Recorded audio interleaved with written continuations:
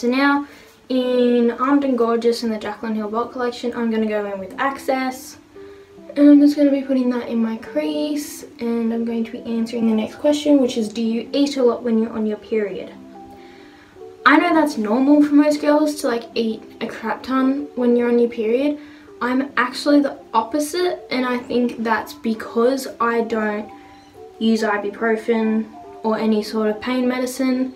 So I am feeling pain the whole time. Yeah, okay, I can't say that because that's another question. Okay, so I'm feeling pain the whole time I'm on my period. Because I'm feeling that pain, I can't differentiate. How do you say that word? Differentiate. Differentiate. I can't differentiate whether that's pains or hunger. So I actually don't really eat much at all when I'm on my period um, because I never feel hungry because I'm always feeling pains. And it also makes me lose my appetite because I'm just like in pain I don't want to eat. So yeah I'm quite the opposite to most girls who like to binge eat when they're on their period. I don't like to eat because I lose my appetite from the pains. And also when I am hungry I can't tell if it's hunger that's happening in the stomach or if it's pains. So yeah I'm actually the opposite which is quite interesting it is what it is so oh well it's okay to be different okay so next question is how do you treat your cramps so because I don't take ibuprofen and I like to just kind of take it as it comes and have it be a natural thing, a natural occurrence because a period is natural. Um, dad, it's natural, stop being grossed out by it, grow up. Anyways, um, I usually use like hot water packs. So I have a hot water bottle and I'll fill that up with hot water if it's really bad and I'll use that. Um, or if I'm at my boyfriend's house and I forgot to bring it, I'll use a water bottle and I'll make him fill it up with really hot water and put a tea towel around it so it doesn't burn my skin. Usually still does, but not as bad. And um, yeah, so I'll do it that way or I'll use like rice packs and just heat the rice up in the microwave and use that. So basically heat packs, any form of heat pack. Um, that's about it, isn't it? Like I asked my boyfriend to apply pressure to like the area because pressure helps for some reason. I feel like some girls are opposite and pressure hurts. But with me, like applying pressure to my stomach while the cramps are happening helps. Also applying pressure to my back when my back is hurting helps. So yeah, I usually get tape to apply pressure to wherever it's hurting. Um, that's if it's really bad though. Otherwise, I just kind of deal with it. It's like I said, it's a natural thing. I just kind of deal with the pain. I don't necessarily have a high pain tolerance. That's not necessarily what you should be gathering from this because I definitely don't. But because it is such a natural thing, I like to try and keep it that way. But that's just, again, personal preference. Not everyone's going to be that way. Some people are going to think that's stupid. And you do you, whatever. But um, yeah, now I'm just going to go into Smooth Criminal. Nice and um, put some of that in the lower crease and move on to the next question which is pads or tampons so this is another one that people are going to be like what the heck is wrong with you um I've never tried a tampon in my life I'm 18 and I've never tried a tampon because those little fuckers scare the shit out of me.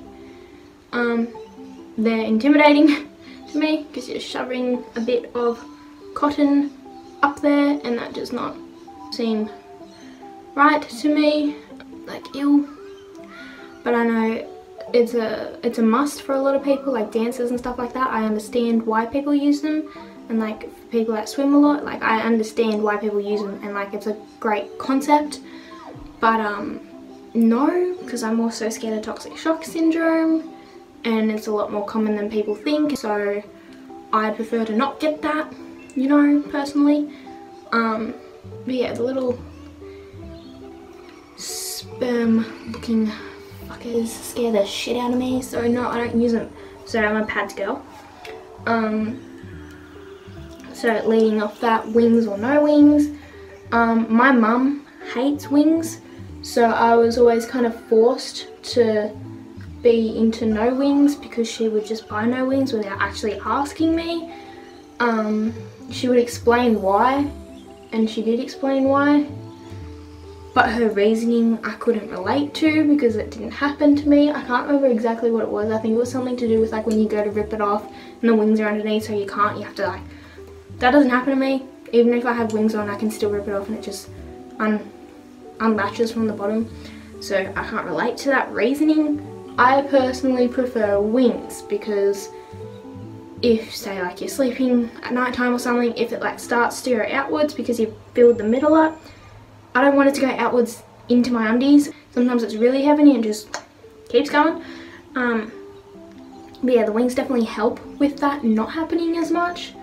And um, yeah, I definitely prefer wings. I think it's a lot cleaner and neater and not as disgusting of a clean up. Personally, I'm a pads girl and a wings girl, so. The next question is what are the signs that you're getting your period? I get cramps a few days before. So, already mentioned that. Um, oh, is there something? Oh, I think I did want to use coin, didn't I? Yeah, okay. Um, what was I saying?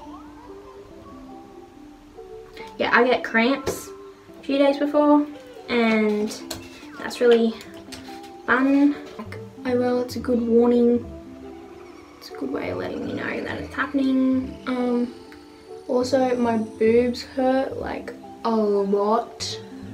They get a lot bigger. Like they hurt a lot, like a lot, a lot. Like it's really painful. Um, so that's fun.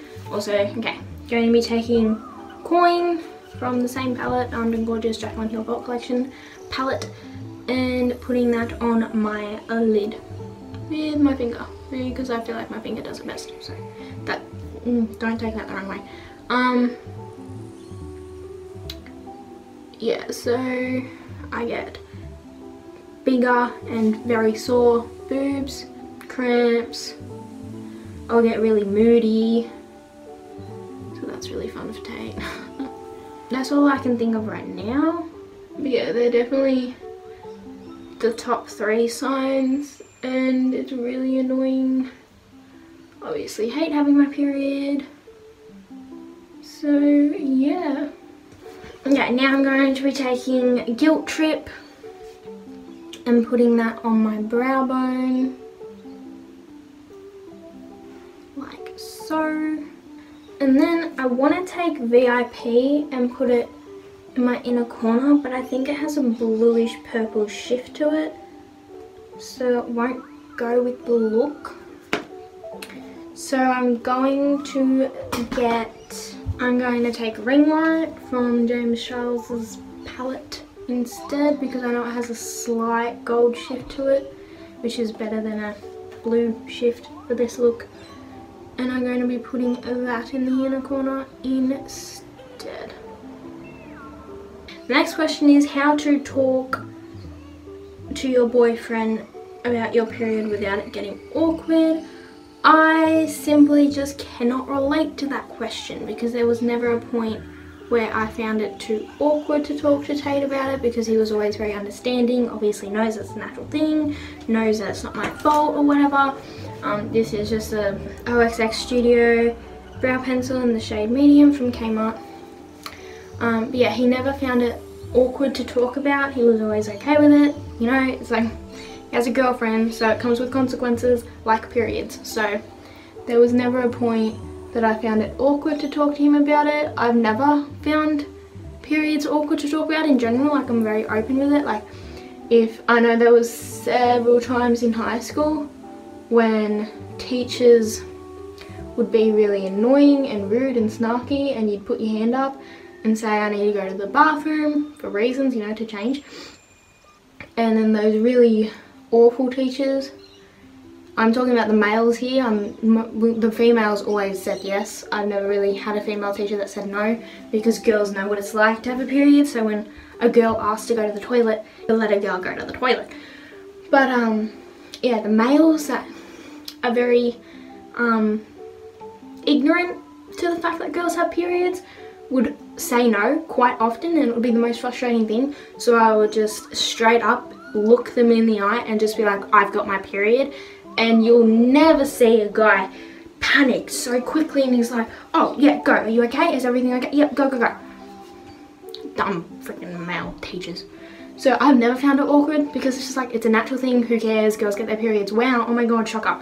The guys that are uncomfortable with it, literally just like grow up, do your research, realise that you wouldn't be here today without your mum having it. Yeah, maybe that's a gross thought for you to think about, but it's true, so get over it. But um, yeah, I never really understood that. It's just like literally grow up, but whatever. I've never had a problem talking about my period. I've always been very open with it. You know, my whole class would then figure out that I had my period once um, I'd announce it to the teacher who wasn't letting me go to the bathroom. This happened several times during high school, several times. So it was never anything new. People knew I didn't really give a shit. Yeah, I can't really relate to this question because um, I don't have a boyfriend that's finds it awkward to talk about periods. I have a stepdad that finds it awkward to talk about periods, but I tell him the same shit and I'm just like, oh dad, grow up, like it's natural, get over it. Um, he thinks they're disgusting and he thinks that women are disgusting for having it. That's just his kind of humour though, he's joking when he says that. Um, but he also does have some seriousness to it because he does find them disgusting in general. Um, but again, Dad, if you ever watch this, you wouldn't be here without your mum having it. So grow up! Oh my gosh.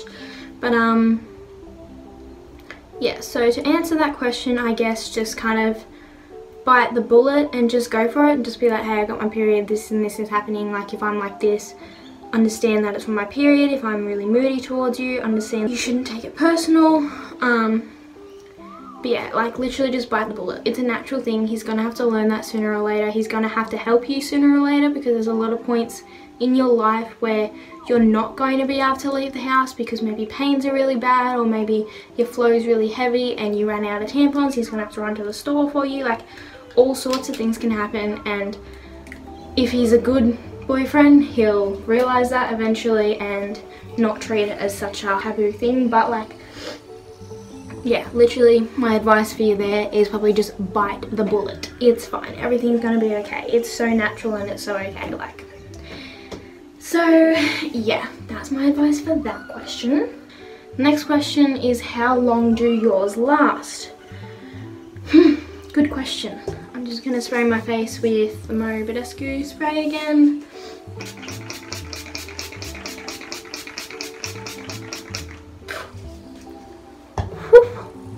Um, mine lasts the seven days. So the week I get it, it lasts the seven days, which is great. Um, yeah, definitely don't appreciate that, but it is what it is, and you know, whatever. It's definitely the most annoying thing in the world because that's literally, no, I think that's too much. I don't know, we'll see. Um, what was I saying? Oh, yeah, I get mine in seven days. Um, and it's like the most annoying thing because that's literally like 84 days out of the year that I get my period for. Really annoying. I got distracted by my highlight. Promise Ring by Adeline Morin X Tarte palette is amazing. So easily distracted, which is ridiculous and I hate that because that's literally so much time every single year and for so many years that's going to be happening as well. It's just like the most frustrating thing but it is what it is and um, yeah that's my answer to that question. Um, next question, but while I'm doing that, I'm going to be taking um, the Gorgeous again and doing my lower lash line. So I need this one. I'm going to be taking Access and dragging that on my lower lash line. Um, what was it? Do I have a heavy flow or a light flow? Definitely have a heavy flow for the first three, four days and then a light flow for the rest of it until it hits seven days. Um, sometimes I get it for eight days, which is even worse. More often than not, I actually get it for eight days, which is really fun. I'm kidding, it's really annoying. I go through a lot of pads, which is really not good for the environment and for the people who are thinking about saying something about menstrual cups. Um, I'm not comfortable enough to use those yet, at least, because they also freak me out. I know they're a lot safer, but like, I don't know, they're huge. I don't know, that freaks me out as well. Um, anyways, so moving on to the next question, which is what age did you get it? I said earlier that I got it when I was in year 7 and in September. So that means by that point in time I was 13. Um, yeah. Because my birthday's in, the, my birthday's the 25th of June. And um, yeah, like I said, September, so past June, which means I got it when I was 13. Sorry if you can hear the phone ringing. Didn't even address it.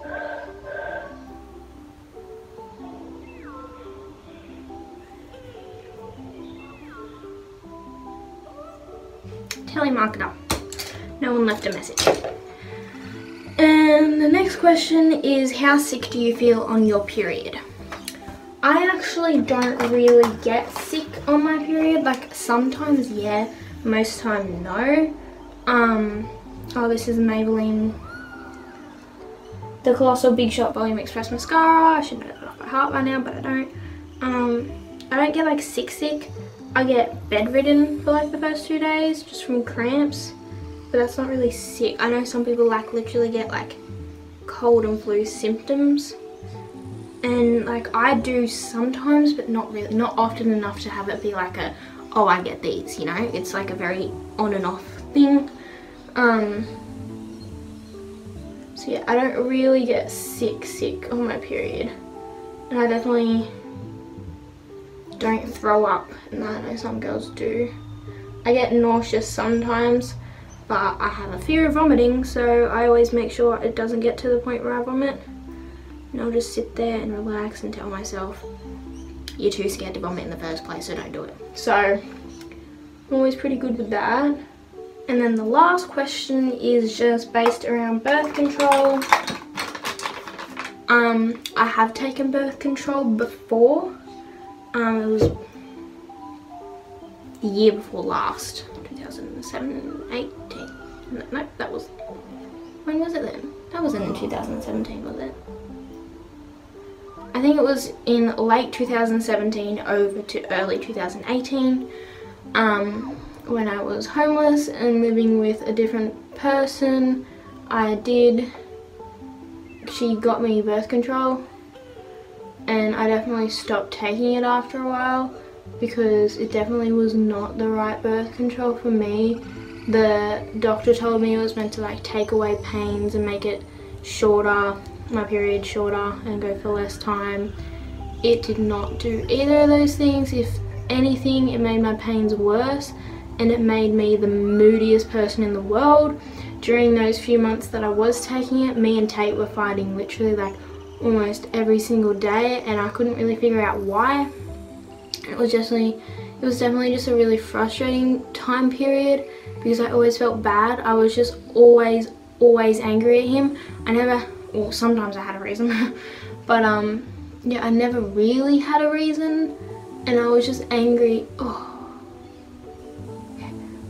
and I was just angry at him so often and I mean he didn't understand why and then when I stopped taking it it wasn't because of the moodiness because I didn't know. Um, I didn't put two and two together. Um, it was just more because I couldn't keep up with it like I kept forgetting to take it so I was like oh whatever this is crap anyway I don't need it. So yeah I stopped taking it and then that's when you know we kind of went back to normal we weren't fighting all the time and I realized oh I'm not moody what's the one thing that's changed in my life? Birth control. I haven't been taking my birth control.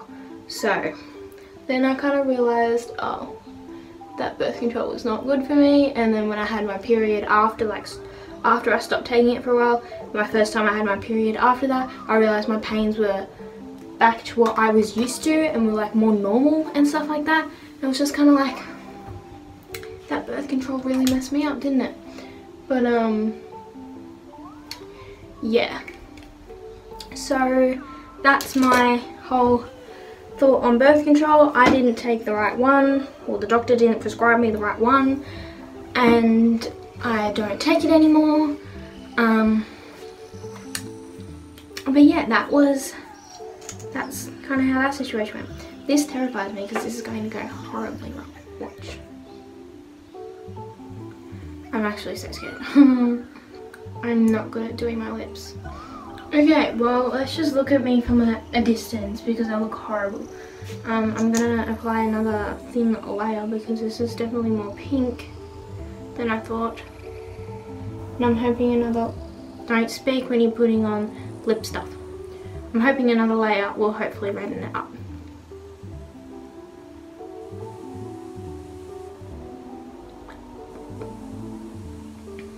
Mm, not really. You can see in the bottle it's a lot more red. And when it comes out it's a lot more pink. Mm. The third layer is getting it there. It's like, you can see that there's red tones in it. But it also looks horrible. I can't do lips at all, so come for me all you want. I understand why you would. That's it for today's video. So, hope you enjoyed the period talk. I know a lot of you probably didn't. Um, but oh well. So yeah, this is my makeup. Definitely forgot to wipe off the bake. Hold on. My bad. Okay. Now, this is my makeup. And now I'm done. I hope these questions weren't too vulgar in any way. But like, again, periods are natural. Get over it. It's fine. Um, off. I don't see why it's an issue to some people. But um, yeah, okay. Alright guys, that's it for today's video. Be sure to give it a like and share this video. If you're new to the channel, you should join the family by making the red sub Ooh, the red subscribe button down below turn grey with the extra addition of the letter D at the end as well. Even though this isn't very red. We're gonna ignore that. Um, I upload videos every Sunday and sometimes Wednesday. So be sure to turn on post oh I just such a bad word with my foot. Um, so be sure to turn on post notifications to be alerted of those up and coming videos as well as following my social medias to be alerted on there also. Thank you guys so much for watching. I love you and don't forget everything is going to be okay in the end and if it's not okay it's not the end. Cue the outro